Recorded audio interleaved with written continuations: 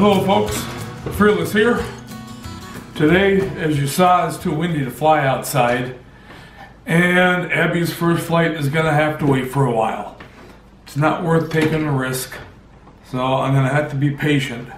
So in the meantime, I thought I'd go over a little bit of prop balancing. I balance all my propellers.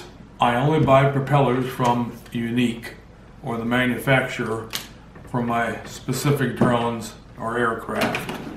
Um, I use the Dubro prop balancer. It comes with its own prop balancing shaft, and I'll show you how to use this in a second. And for my Q500 Plus, for these babies, you can buy an adapter balancing rod for those. I got all my stuff here, including the balancer from Carolina Drones. They got them in stock down there. Um, grab some coffee. Mmm. Why do I balance my props?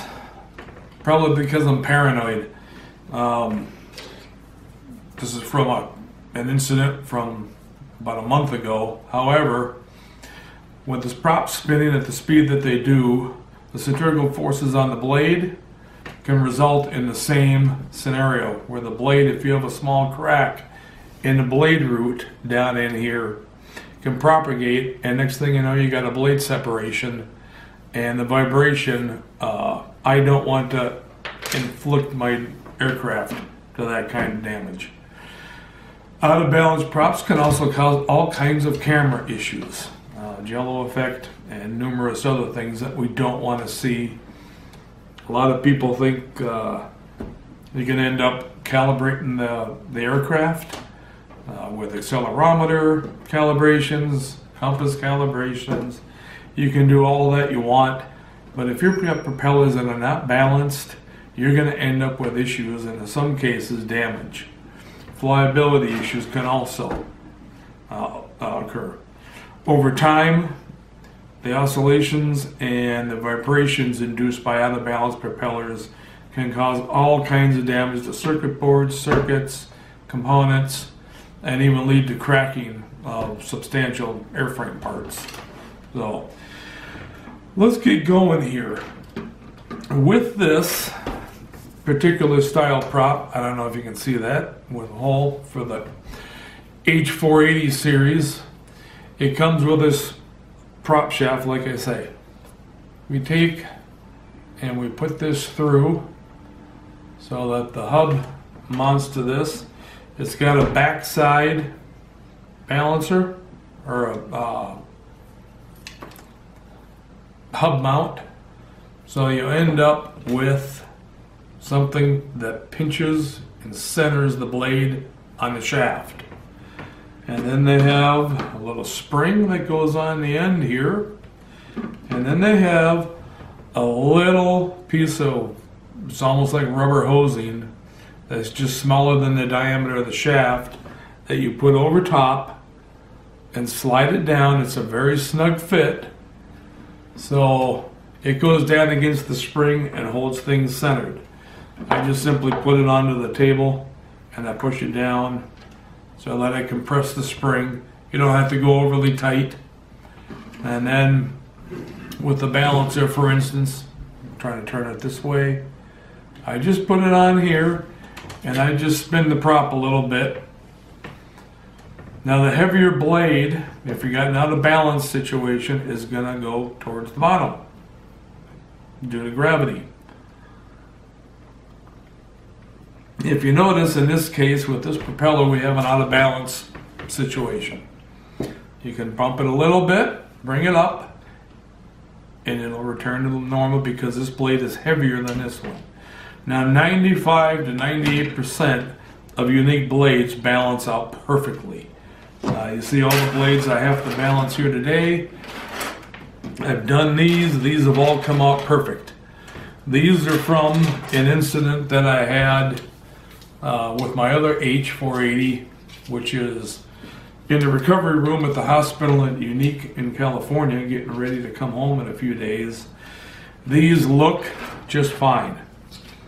They have no nicks, they have no uh, cracks or any damage that I can see. Uh, however, I will never use them again. These are going to be for static display only. Um, to me, it's not worth taking a chance and dropping a $2,000 drone out of the sky because I was too cheap to buy extra propellers. So, at times, if you feel like you want to reuse propellers, do an inspection of them. I do an inspection every time before I fly anyway.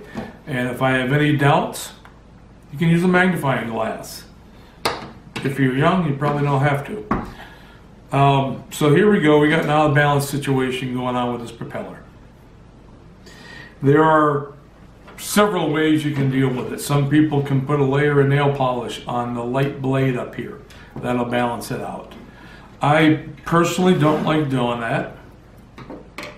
I use scotch tape and I just use, in this case, the blade's not real heavy, just a, about a half inch, not a lot. And I put that on the heavier blade, make sure I got the right blade.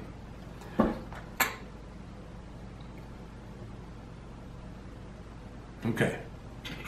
So I'll put this on the lighter blade. About three quarters of the way out. I don't know if you can see that. And we'll just see what it does.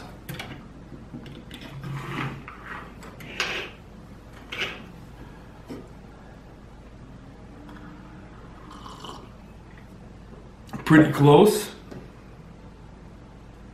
I want to make sure I'm not rubbing against the case at all and that I'm actually seated. The Dubro prop balancer has two little wheels and two little wheels here that are on really fine bearings which allows everything to spin real nice. So this blade right now comes out pretty good. No more heavy. And you saw how little tape I had to put on there. One layer. So then I'll just rub it on real good make sure it sticks. I've never had a situation where I've had tape come off at a flight, ever. Like I say, some people you may want to use nail polish or paint. Um, the problem with using nail polish is once you put it on and if it dries and you're not, if you're too heavy, now you end up making it's difficult to get off or you got to counterbalance and put some on the other blade again. Tape you can just keep peeling back off and going back and forth. So this blade is now in balance. So we take, I have this Tupperware container here because a couple weeks ago I took it off and I dropped this and it bounced about 35,000 feet away from my table. And it took me a day or so to find it. So I just dropped everything into here.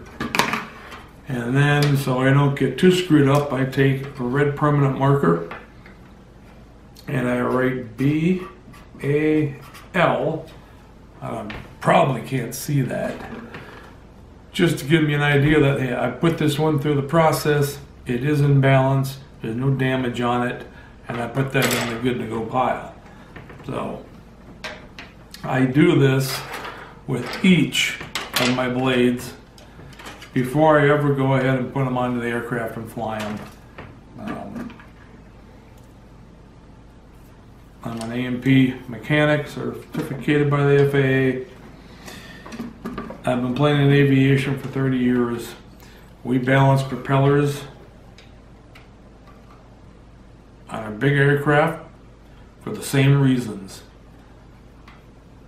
Just real light, just slide that on so it centers that blade up a little bit. That way you can see. And then we'll put it on here and give it a little spin.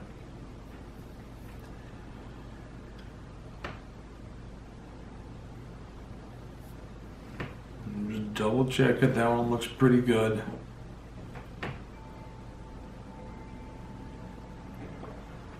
Yeah, just real nice.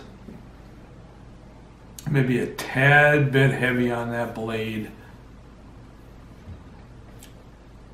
Just make sure.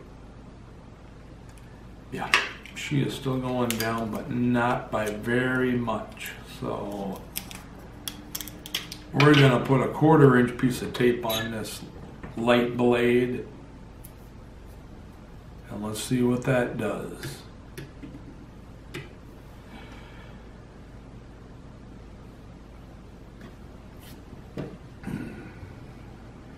Much better. Rub it down real good. Slide this off. Being careful not to lose the rubber piece. And then again, we take the marker right on here down. Awesome. So since it's so windy and we can't fly, it's a good day to do maintenance on our aircraft.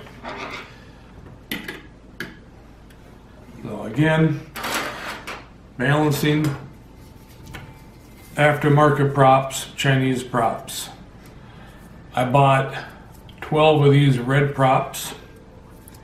Um, not real good. I only got 4 out of 12 to balance out. This is one of the ones that I got to balance out. I have four pieces of tape, scotch tape, an inch and a quarter long on here. It took a whole lot of tape to get this blade or this prop to come into balance. I do not have that situation with the Yuneec propellers, not even close. I'm lucky if I have to put on a big blade like this, a big 13 inch blade. I'm lucky if I have to put a quarter inch or a half inch of tape on one out of 20. And even then, uh, I've had that many. You'll see the ones up here maybe. Uh, not a big issue with the Yuneec propellers. So if you want to take a risk, I thought these looked cool. Um, I now use them again just for static displays. Uh, great for photographing the thing which is sitting around. So beware of aftermarket propellers. I did before I balanced that one actually. I put a set of those on and the oscillations on the arms of the Q500 Plus was an eighth of an inch. So the whole arm was shaking back and forth on all four motors. I shut her down quick, pulled the blades, and discovered what happens when we try to go cheap and save a little money. Uh, props are cheap, the aircraft aren't. So, all right, guys. Thank you very much for watching. I hope this has helped somebody out giving you a little bit of idea that props are not always balanced when they come from the manufacturers and beware of aftermarket props. You guys have a great day. Keep your stick on the ice.